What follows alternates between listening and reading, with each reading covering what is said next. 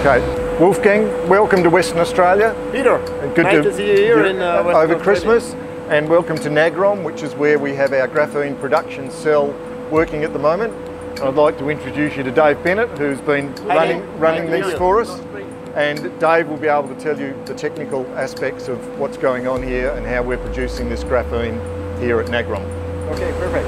Okay, so uh, this is the uh, graphite lump that we're sourcing out of uh, Sri Lanka.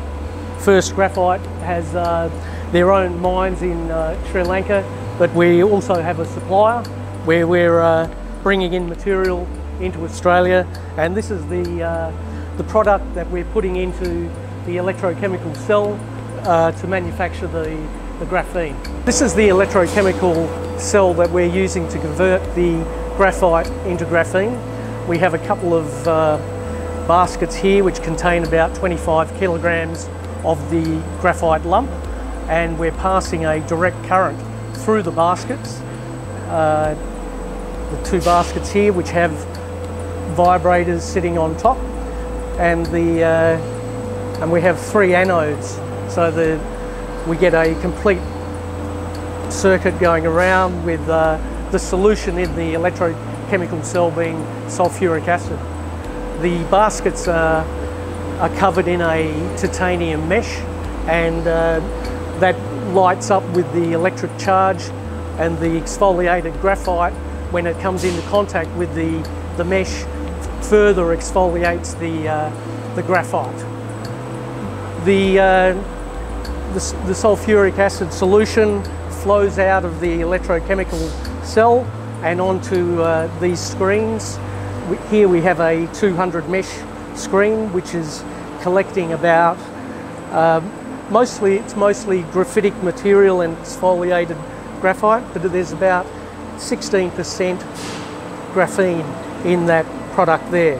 This product will uh, eventually be sonicated, and uh, recent trials sonicating this product ends up with uh, over 90% graphene uh, once it's sonicated.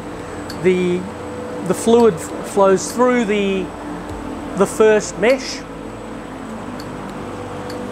comes through the, uh, the bottom weir and onto the a finer mesh over here. We've got a 400 mesh screen which is collecting the finer material and we're getting about an 85 to 95% purity on this screen here. And again, further sonication would, uh, would make that uh, even more pure. The, uh, the fluid, once it's once it oh, come around here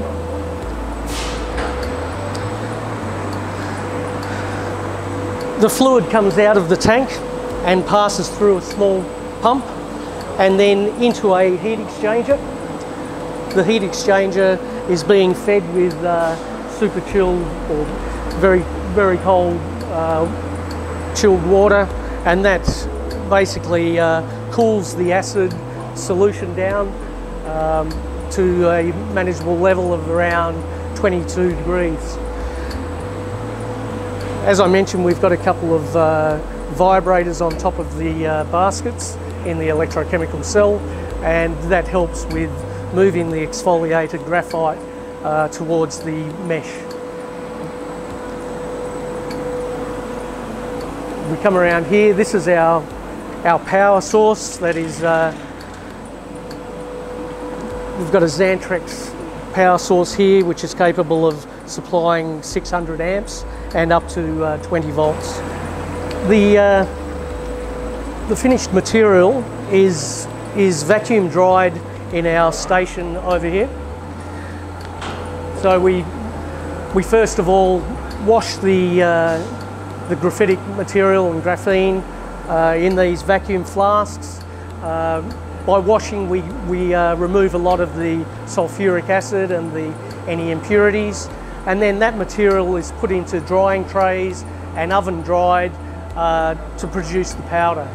Uh, after we have the powder, we send that away to the University of Adelaide where it's analysed for percent purity and uh, impurities as well. So the, uh, the first graphite electrochemical uh, cell, um, we estimate that it can produce about five metric tonnes per, uh, per year based on our current trials. This is some of the uh, material that we have been uh, producing in um, the University of Adelaide after sonication.